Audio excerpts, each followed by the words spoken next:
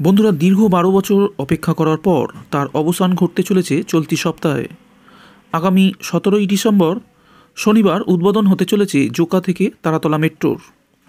কে করবে এই মেট্রো লাইনের উদ্বোধন?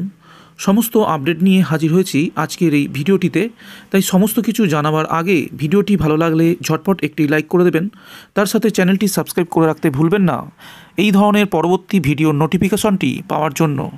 দু হাজার দশ সালের তৎকালীন রেলমন্ত্রী মমতা বন্দ্যোপাধ্যায় এই প্রকল্পের ঘোষণা করেছিলেন। সেই ঘোষণার বারো বছর পর অবশেষে সকল বাধা বিপত্তি পেরিয়ে উদ্বোধনের দিকে জোকা থেকে তারাতলা মেট্রো, কলকাতার তৃতীয় মেট্রো লাইন হিসাবে পরিচিত এই প্রকল্পটি। এই পরিষেবার ফলে বেহালাকে যানজট থেকে মুক্ত করতে চলেছে কলকাতা মেট্রোর পার্পেল লাইন। মুম্বাইয়ের পরে কলকাতা দেশের তৃতীয় শহর, যেখানে তিনটি মেট্রো প্রকল্পে পরিষেবা মিলবে। এই প্রকল্প চালু হওয়ায় কলকাতা মেট্রো নেটওয়ার্ক সাতচল্লিশ কিলোমিটার হবে। আপাতত একটি রেক দিয়েই পরিষেবা মিলবে জোকা থেকে তারাতলা পর্যন্ত। সিবিটিসি সিগন্যালিং সিস্টেম চালু না হওয়ায় একটি লাইন ব্যবহার করেই চলবে এই মেট্রো।